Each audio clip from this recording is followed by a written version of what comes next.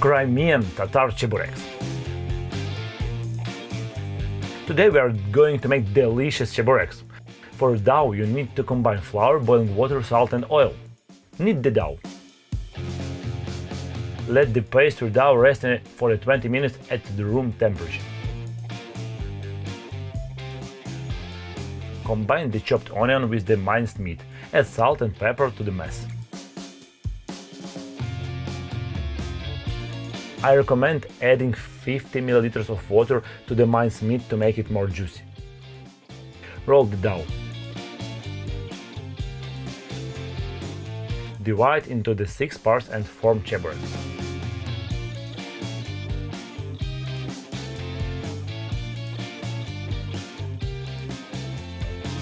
Put the meat on the dough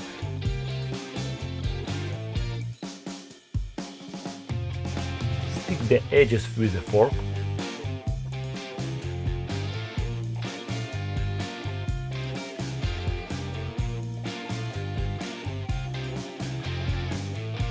Fry in a frying pan on each side until golden brown.